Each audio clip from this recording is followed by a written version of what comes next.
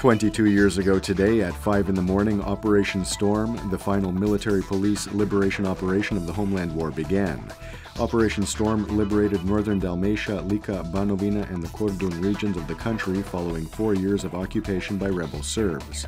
This afternoon, an extraordinary session of government is being held in Knin. Government is expected to adopt a proposed new law on Croatian Homeland War veterans and members of their families, which should unite their status and material rights for all veterans under one law. Ministers will also hear a report on current and future projects to be implemented in Knin and Šibenik Knin County.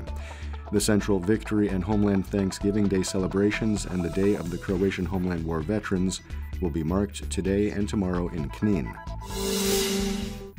In light of victory and Homeland Thanksgiving Day delegations from government and parliament led by Prime Minister Andrej Plenković and Parliament Speaker Gordan Jandrokovic paid their respects to those who gave their lives in defense of Croatian independence at the Central Cross at Mirogoj Cemetery in Zagreb today. They also honored the civilian victims of the war at the Wall of Pain Monument and the first Croatian president, Franjo Tuđman. President Kolinda Grabar Kitarović issued a greeting to all citizens in light of Victory and Homeland Thanksgiving Day today.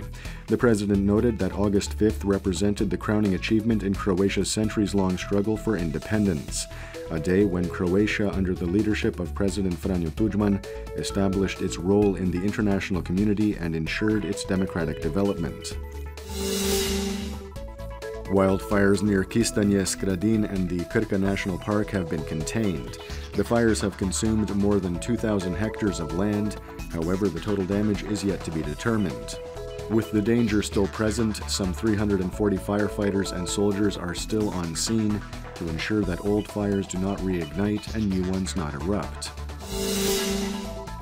Taking a quick look at sports in football, all three Croatian teams that played UEFA Europa League qualifiers last night advanced to the playoffs. Dinamo played Norwegian side Odd to a scoreless draw and advanced on a 2-1 aggregate. Hajduk defeated Danish side Brøndby 2-0 in Split to advance on a 2-0 aggregate score. Osijek beat Dutch side PSV Eindhoven 1-0 to advance on a 2-0 aggregate score. Draws to select pairs for the playoffs of the Champions League and the Europa League will be held in Nyon today.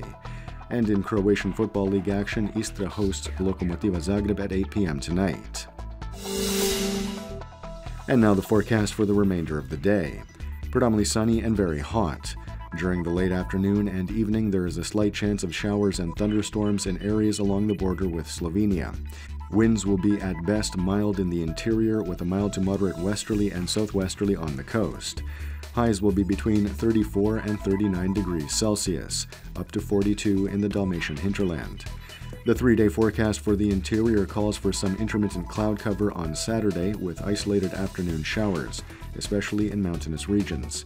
Sunday will see more cloud cover with showers and thunderstorms, especially in the evening.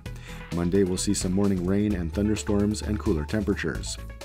The coast will see predominantly sunny but unstable weather, especially from Sunday on to Monday, when the northern Adriatic will see localized showers and thunderstorms.